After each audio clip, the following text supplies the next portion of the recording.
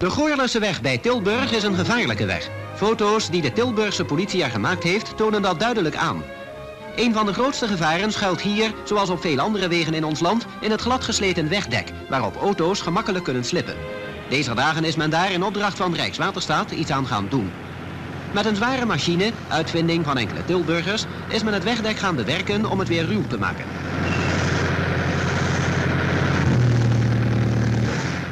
Een motor van 87 paardenkrachten doet de machine per dag 500 tot 750 meter vorderen. Intussen krijgt het wegdek op zo'n dag 40 miljoen tikken.